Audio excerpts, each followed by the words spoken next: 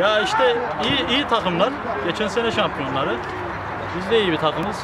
Ya biz zevk olsun diye geldik maça. Maç çekişmeliydi. Güzel biraz da sert geçti maç. Güzel ama.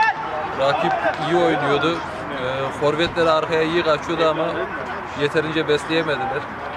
Biz de yani boş bir takım değiliz. Kalecimiz sağ olsun burada, burada.